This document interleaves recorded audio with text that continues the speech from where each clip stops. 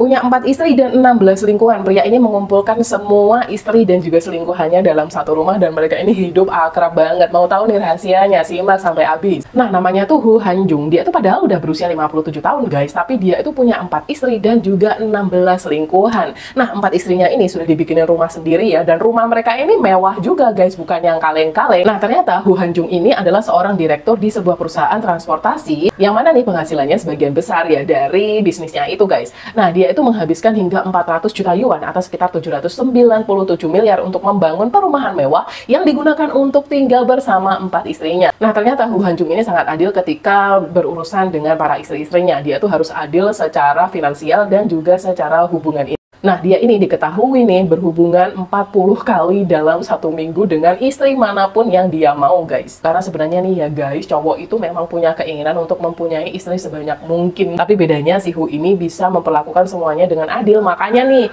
empat istrinya juga santuy-santuy aja hidup dengan 16 selingkuhannya. Nah, buat kalian yang pengen punya istri banyak, pastikan dulu duit kalian banyak dan stamina kalian nih juga cukup untuk melayani semua istri kalian.